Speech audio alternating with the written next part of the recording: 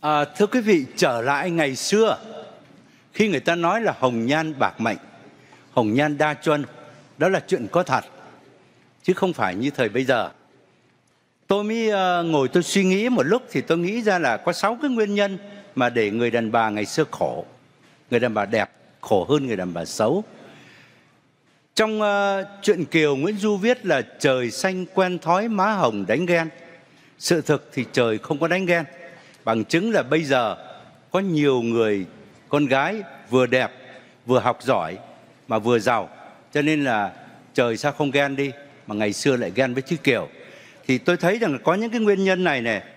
Cái thứ nhất là xã hội ngày xưa do đàn ông cai trị, đàn ông làm ra phong tục, tập quán và luật lệ thứ hai là mê tín dị đoan thí dụ tôi hay kể núi phun lửa thì cho là hỏa thần nổi giận tìm những cô gái đẹp nhất quăng vào để hy vọng ông hỏa thần đó ông dịu xuống. Rồi nước sông gông dâng lên làm ngập lụt thì lại đoán là hà bá đòi cưới vợ lại đi tìm những cô gái đẹp nhất quăng xuống sông. Theo tôi là đáng lẽ phải quăng những cô xấu nhất để hà bá bỏ chạy.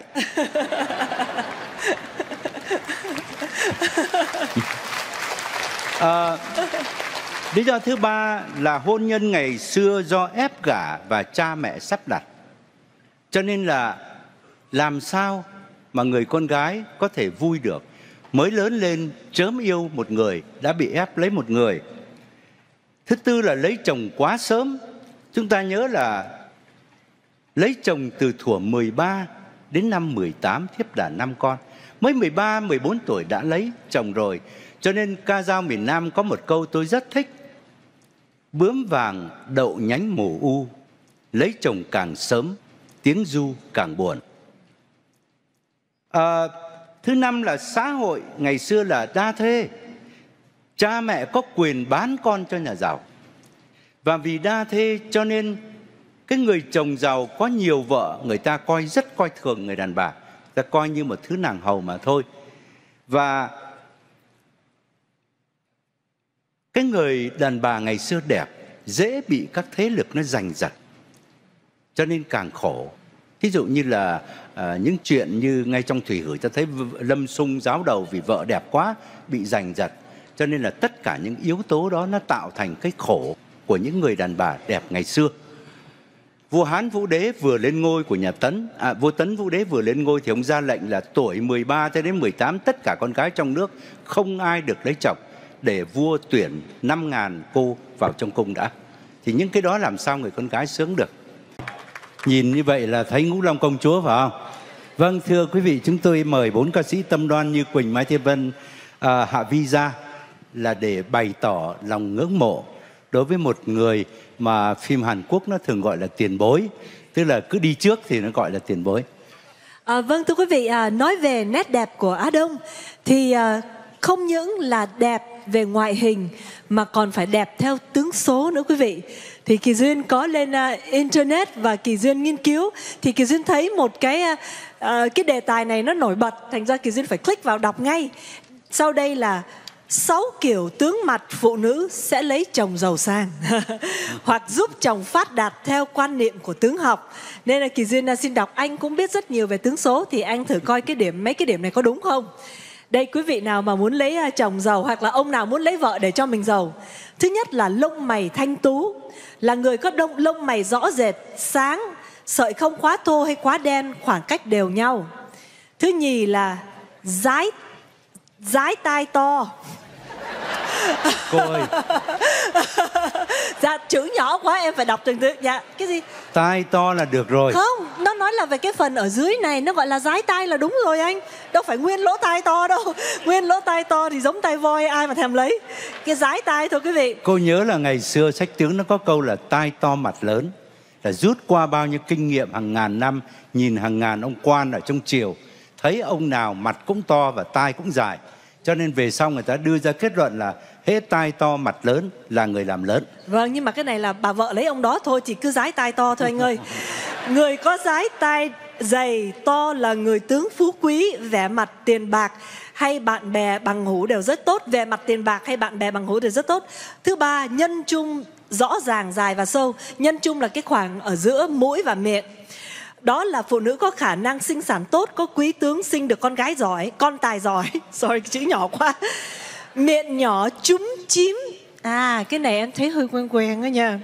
Là người dễ được người khác yêu mến. Phụ nữ có khuôn miệng nhỏ nhắn, môi hồng Rõ nét cân đối sẽ có cuộc sống rất thuận lợi. Vận thế và vận khí đều tốt Đối với chồng con có tướng vượng phú ích tử. Mũi cao. Mũi cao của phụ nữ còn được cái coi là vị trí của phu tinh. Người phụ nữ có cái mũi đẹp Không những sẽ được chồng yêu chiều mà còn có à, phúc cùng hưởng giàu sang và cuối cùng là cầm dài và tròn trịa người phụ nữ có cầm dài và đầy đặn không những có cuộc sống êm đềm dễ chịu mà còn là người rất tinh ý và nhanh nhẹn đó. À, trong yeah. Dạ. 6 điểm cô đọc này sai gần hết nhưng mà tôi không còn giờ để mà nói chẳng hạn như miệng nhỏ chúm chím là vì cô tưởng cái miệng của cô là chúm chím cho nên cô cho vào cái này nhưng mà sự thực là tại vì ngày xưa người ta nói là đàn ông miệng rộng thì sang đàn bà miệng rộng tan hoang cửa nhà. Vì cái câu đó cho nên các cụ ám ảnh bây giờ cứ thích đàn bà miệng nhỏ nhưng sự thực đàn bà miệng nhỏ không bao giờ đẹp. Tà áo nó dài quá tôi mới hỏi thái nguyễn là cái kiểu design mới ấy, như thế này sao nó nói không? Tại vì khúc vải nó dài mà cắt đi thì nó tiếc quá thành thế để luôn như vậy cho rồi. Thưa quý vị, à, có rất nhiều khán giả khi mà Kỳ Duyên đi show khắp nơi thì họ nói rằng chị ơi, em rất muốn mua băng của Thúy Nga nhưng mà ở chỗ em không có bán hoặc là ở xa xôi làm sao mà gửi tới được. Thì thưa quý vị à, Thúy Nga nếu quý vị lên thúy nga.com mà bây giờ cái trang website của chúng tôi càng ngày càng cải cách Ờ, mới hơn và hay hơn. Có nghĩa là quý vị có thể mua tất cả những CD băng nhạc, băng đọc truyện của anh Ngạn như là một cái shopping site bình thường. Nhưng ngoài ra đó, bây giờ chúng tôi có live streaming, có nghĩa là quý vị có thể coi được ngay trên phone, trên iPad, trên laptop quý vị không phải ngồi nhà mà bỏ cái DVD vô như ờ, bình thường. Đi đâu quý vị cũng có thể coi được. Quý vị có thể mua một chương trình, hoặc quý vị có thể thuê một chương trình 7 ngày, hoặc quý vị có thể subscribe để quý vị có thể coi trong một năm hoặc một tháng cả chương trình toàn bộ của Thúy Nga. Vì một một câu nữa mà Kỳ Duyên ưa nhận được là em muốn làm một cái collection. À, chị à, có biết là Thúy Nga có bán nguyên tập tất cả những cái à, DVD trước nay của Thúy Nga? Em muốn siêu tầm muốn làm collection. Thì thưa quý vị bây giờ quý vị không cần như vậy nữa. Quý vị cứ vào thúy nga com quý vị có thể coi lại tất cả. À, quý vị có thể nghe anh ngạn kể chuyện ba bất cứ lúc nào.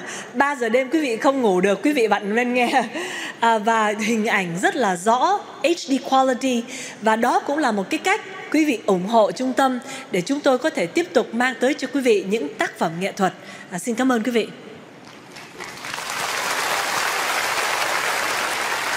À, kính thưa quý vị, tổng kết mấy tiếng đồng hồ vừa qua trong chương trình Nét đẹp Á Đông thì chúng tôi uh, muốn mượn một lời phát biểu của giáo sư Hàn Quốc là Kim Young Sam.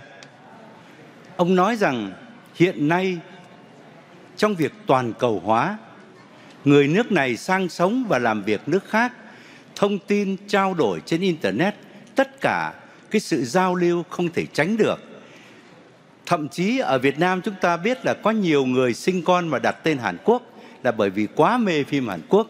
Thì ông cũng nói là sự lôi cuốn đôi khi bị đi quá đà.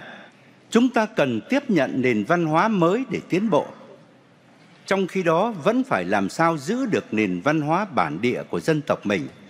Chúng ta đang phải đối diện với một cuộc chiến, trong đó mình chống lại chính mình, chống lại những cám dỗ đang làm mình đánh mất dần di sản văn hóa dân tộc.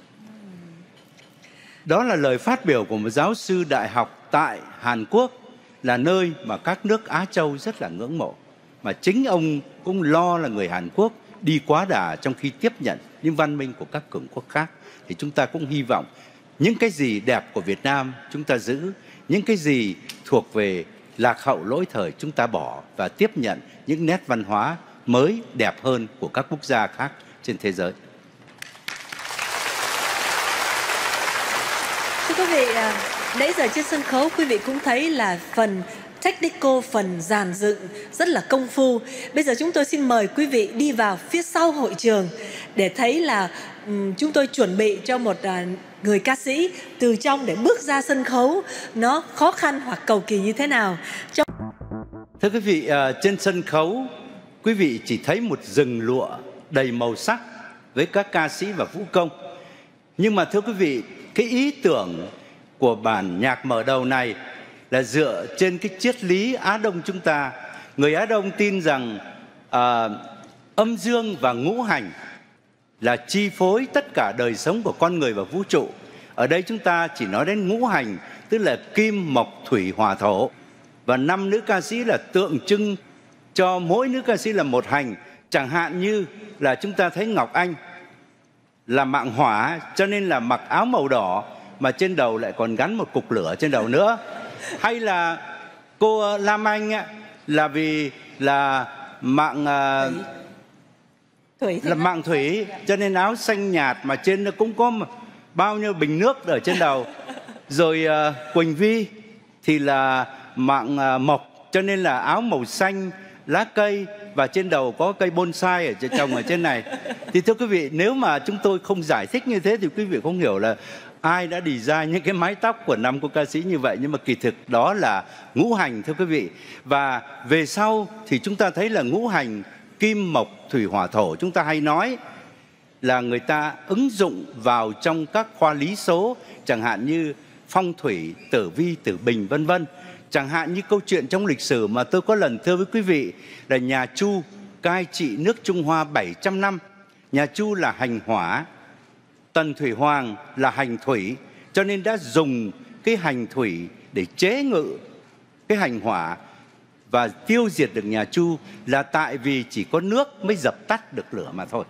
Nhưng mà anh à nói đúng như anh là nếu mà mình tin rằng là cái ngũ hành hạp với nhau thì sẽ làm ăn lâu hay là vợ chồng ở được với nhau thì em chưa bao giờ hỏi anh, nhưng mà em với anh cùng đứng trên sân khấu hơn hai mươi mấy năm uh, rất là hạp và có thể nói là một cặp mà làm việc với nhau lâu nhất trong uh, các giới nghệ sĩ. Thì anh là mạng gì?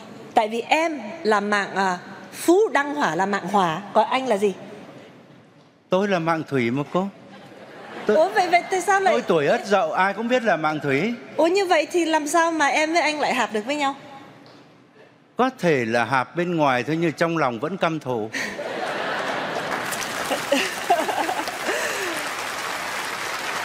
nhưng mà như là anh nói lúc nãy là thủy là dập hỏa. Vậy thôi chắc sau này em không dám đứng gần với anh. Tại vì em cứ đứng với anh thì anh sẽ dập em. Ờ nhưng mà không sao. Bây giờ thì anh cũng không còn sức để giật đâu.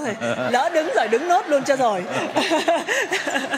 Em nghĩ không còn sức để giật đâu. À, thưa quý vị à, con số 5 là một con số người ta gọi là may mắn đều đặn bởi vì ờ, nó quân bình giống như là ngôi sao năm cánh. Do đó người ta tin cái ngũ hành. Ồ, số năm mình còn có quý vị nhớ là mỗi lần mình cúng thì mình cúng mâm ngũ quả chứ không ai cúng lục quả hay là tứ quả. Rồi mình còn có ở trên sân khấu quý vị thấy năm cô là ngũ long công chúa nè. Rồi mình còn có ngũ vị hương nè. À, trong võ lâm thì là võ lâm ngũ bá có nghĩa là cái số 5 là một cái số rất là đẹp. Quý vị nhớ hôm nay coi xong show đi ngang qua bằng roulette phải đặt một số năm. Trúng thì chia lời cho kỳ duyên. Thua thì tại quý vị nghe suối bại thôi không dính gì tới em hết. À, nhân đây chúng tôi cũng xin thưa với quý vị là màn mở đầu thì cái phông ở đằng sau lưng của các nghệ sĩ đó là có những nét vẽ thủy mạc rất đặc sắc để tô điểm. Thì chúng tôi cũng xin cảm ơn người họa sĩ đã tô điểm. Đó là họa sĩ Châu Thụy.